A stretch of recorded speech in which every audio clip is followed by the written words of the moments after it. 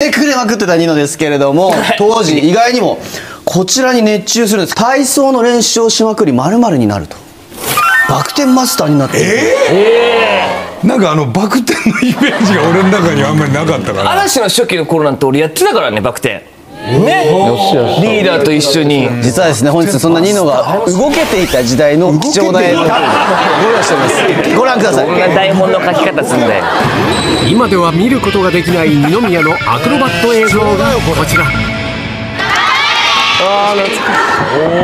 かわい。いな。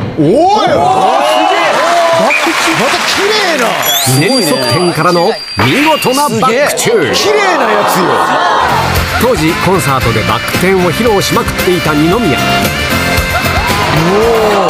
の結果腹筋がバッキバキに。当時は桜井も一目置くマッチョだった。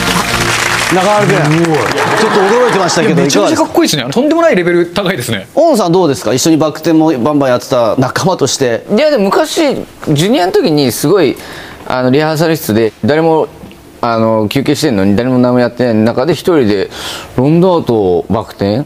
さっきの？をずっとやってたイメージある。本当？ひたすらにやってた。めちゃくちゃいいやつじゃん。ほんで終わってもう俺の顔チラッて見てまたやってって。俺もずっと暇だから見てるわ。け コーチじゃん